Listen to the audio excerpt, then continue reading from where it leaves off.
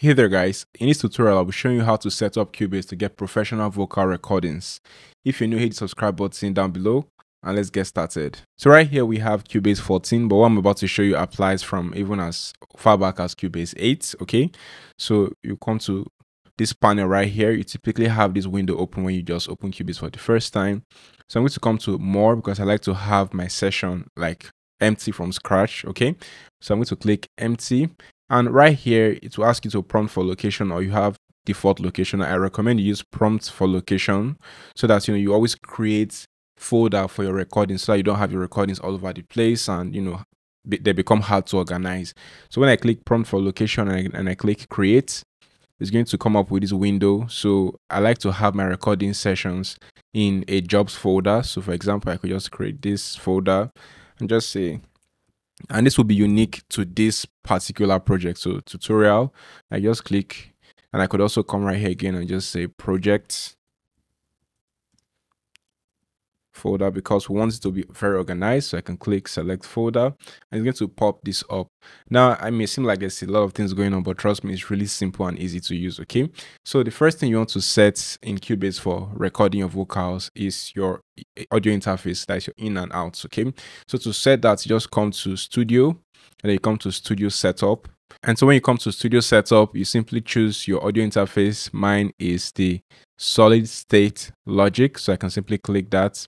It's going to ask me if I want to switch or keep my ASIO driver. I'll simply click switch and then I'll close that. Then the next step I have to do, which is very important, is for the vocals. Then that's your microphone inputs. Now all I have to do is simply come to studio and come to audio connections. But you can just press F4 on your keyboard as a shortcut. And then under inputs, I could just simply right click an empty space here then come to add input bus you want to click mono so that it comes in from one channel. If you have any bus right here just simply right click and delete any bus that you have existing right here. So just come to add inputs come to mono now this is input one. Because my audio interface has two inputs so this is input one. Then i'm going to come right here mono again and input two and i can actually rename this so i know it doesn't you know maybe if you have like two different mics or two different artists running through your interface. You could name this, maybe you could say um, mic one. And you could name this, maybe it's, it's attached to a particular mic model. Maybe I could name this mic one Rode mic. And I could name this maybe mic two. I can name this samsung Okay, maybe have like a Samsung mic running in, in there. Then that's it. So now how do we import our beats, set up our session for recording. It's also really easy.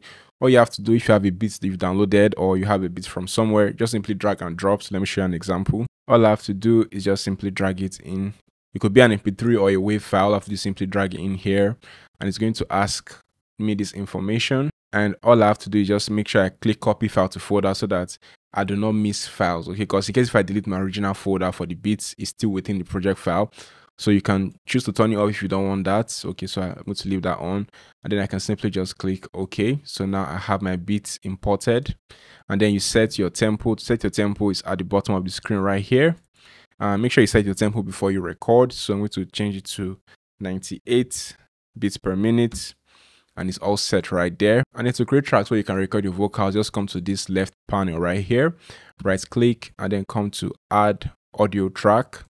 And it's going to ask you this. Once the inputs the inputs already mono by default but i like using audio output like in stereo okay? I like using stereo for my configuration. You can leave it in mono but if you try to apply stereo effects in your vocal recording chain it won't work. So I, I recommend you leave it as stereo okay? Then i simply click add track and then you can see right here, if I come to my routing, under routing right here, you can see mic, this is input, this is output.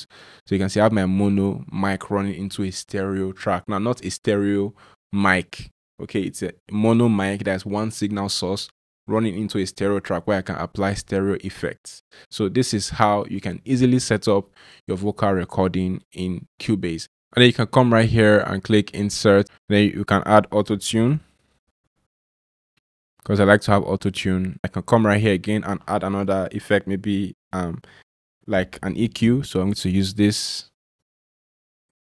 And then you can keep adding more and more effects, you know, to make your vocal recording chain even more interesting. So this is how you record in Cubase and if you want more vocal tracks or more recording tracks or inserts, just simply right click and then just click duplicate and to duplicate the same thing and you can rename it, you know, to whatever name you want.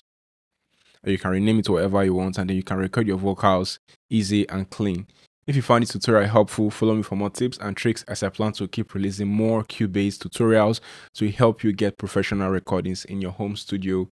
I remain Sir Classy. See you soon. Cheers.